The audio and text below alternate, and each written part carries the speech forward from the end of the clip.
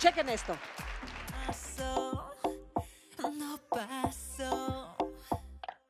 Y que te monté los cuernos de Hola a todas, ¿cómo están? Y a todos también, no se ofendan nombres. Deseo que estén muy bien y yo estoy súper feliz de estar con ustedes una- en una cápsula más. Y bueno, el día de hoy, como les prometí, niñas, estuve leyendo sus mensajes en redes sociales, atendiendo todos esos mensajitos. Hay un tema bien interesante. Serrat, ocupo un consejo, mi amor. Mi amor me dijo, ¿eh?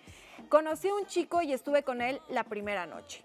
Me interesaba bastante, es muy inteligente, pero tomamos vino y nos embriagamos y pues lamentablemente terminamos juntos. Enseguida me arrepentí, pero pues dormí en su casa por esa noche.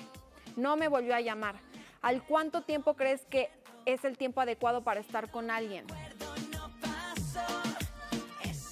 Mi vida, si no te llamó, es porque no le interesas. ¿Estamos de acuerdo? En segunda, no necesitas tomar para pasar una noche buena. Ay, me sentí en Navidad. ¿Cómo les explico?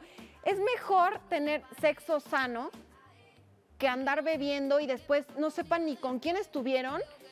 O sea, me va a llamar, no me va a llamar. O sea, no, tienen que ser conscientes, tienen que cuidar su cuerpo. Mujeres, no pueden de verdad dejarse llevar por el alcohol. Si no les llamó, next. O sea, es porque no les importas. Obviamente tú no tienes que buscarlo para nada.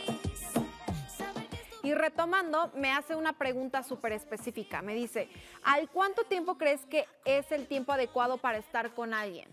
O sea, mi vida, en una noche no va a haber un sentimiento y menos si hubo alcohol. No hay emociones. Más vale ser una niña bien a una niña bien borracha, ¿eh? Mucho ojo, en serio. Cuiden su dignidad, chicas.